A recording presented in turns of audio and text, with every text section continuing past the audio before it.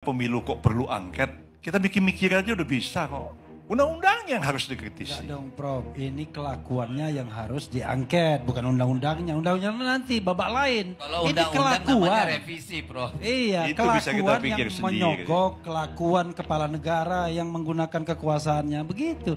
Coba bayangkan, di MK itu manggil Jokowi mana bisa.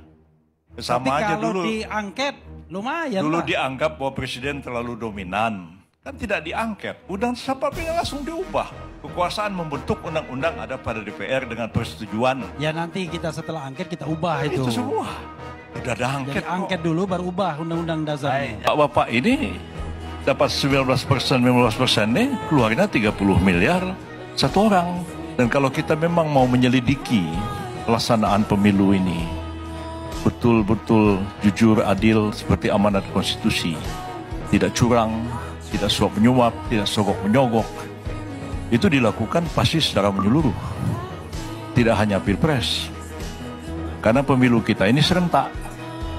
Pilpres, kemudian DPR, DPR provinsi, DPRD, DPRD kabupaten kota, DPD. Dan tadi Pak Deddy Sitorus mengatakan semua ini uang. Untuk jadi anggota DPR pusat aja 20-30 miliar. Kabupaten mungkin 45 miliar. Jadi panitia angket DPR yang terdiri atas partai-partai itu yang malam ini ada tiga orang tokoh ada Pak Pipin dari PKS, ada Pak Dedi dari PDIP, Pak Maman dari Golkar. Mereka juga akan melidiki dirinya. PDIP dapat 19% itu nyogok apa enggak? PKS dapat 70% itu nyogok apa enggak? Golkar dapat 15% menurut Pikon itu nyogok apa enggak? Kalau tadi dibilang untuk satu anggota DPR perlu 20-30 miliar, apa 19 persen PDIP dapat kursi itu kalau di kursi, diangkakan 110 kursi, 110 kali 30 miliar atau tidak? Bapak yang nyelidiki, Bapak sendiri mungkin. Pak Maman akan nyelidiki dirinya sendiri. Lalu apa orang mengatakan ini cuma dagelan aja ini angket ini? Itu pertanyaan Pak. Saya sebagai ketua partai PBB yang gak kebagian kursi, ya saya senang aja nonton. Ya, oh rupanya bapak-bapak ini dapat 19 persen, 15 persen nih, keluarnya 30 miliar satu orang. Ya PBB nggak dapat kursi, ya nggak satu perak pun keluar uang. Berarti ya kami partai yang paling jujur di Republik ini. Dibandingkan tiga yang hadir malam ini, Golkar, PDIP, PKS.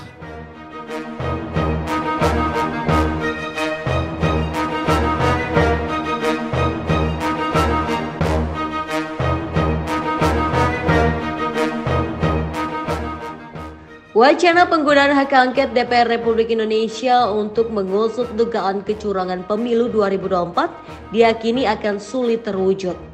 Pasalnya, selain dari sisi aturan, dari sisi waktu juga tidak memungkinkan untuk terwujud. Demikian disampaikan Ketua Umum Partai Bulan Bintang atau PBB Yusril Izzah Mahendra dalam acara Indonesia Lawyers Club atau ILC bertajuk Hak Angket DPR seampuh apa? Bisakah hak angket membatalkan pemilu? Dikutip Kamis 29 Februari. Yusril menjelaskan dalam pasal 20A Undang-Undang Dasar 1945 dinyatakan bahwa angket itu adalah hak yang diberikan kepada DPR dalam konteks melakukan pengawasan terhadap pemerintah sehingga KPU RI bukan objek yang bisa digugat.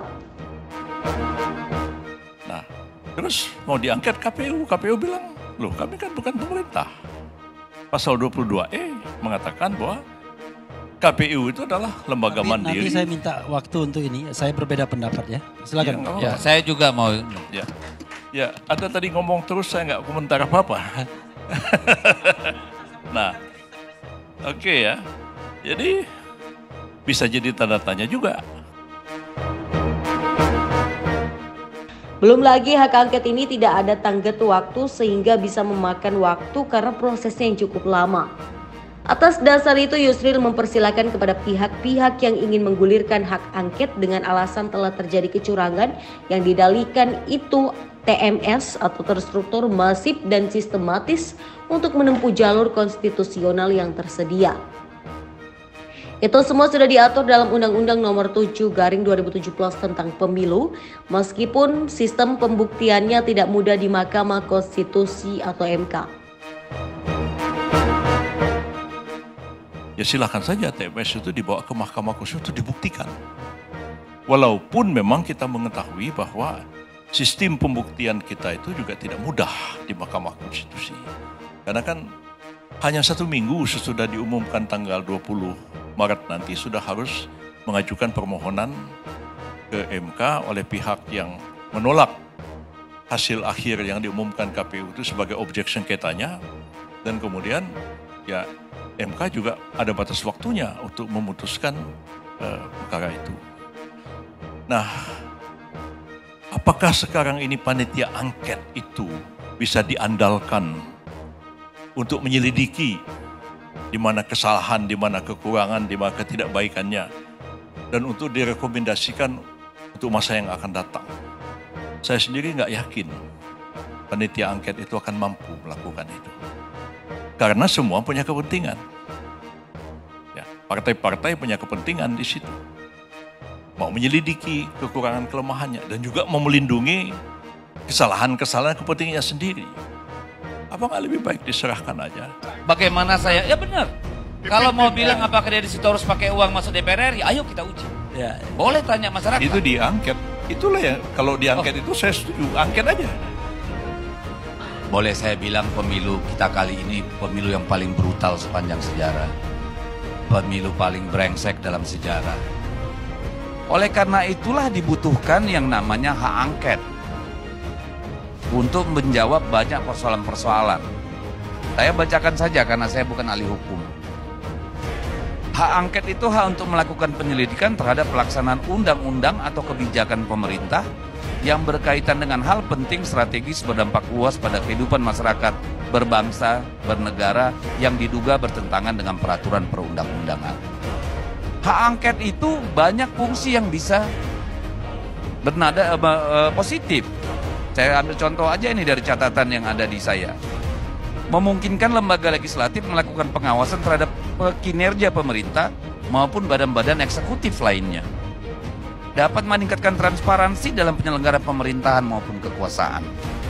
Membantu memastikan akuntabilitas pemerintah atau penyelenggaraan kekuasaan kepada rakyat Hasil dari proses angket dapat digunakan sebagai dasar perbaikan kebijakan atau prosedur dalam penyelenggaraan kekuasaan. Karena saat sudah pasti pemilu itu akan dimenangkan yang punya kuasa dan yang punya uang. Tidak ada rumus lain. Karena kalau hari ini saya yakin, kalau nggak punya 30 miliar susah masuk DPR. Untuk jadi anggota DPRD kabupaten kota setidaknya 4 miliar. Kalau dia provinsi mungkin 10-15 miliar. Kalau dia PRRI 25, 30, 40 miliar. Demokrasi apa yang kita harapkan? Baik, terima kasih Pak.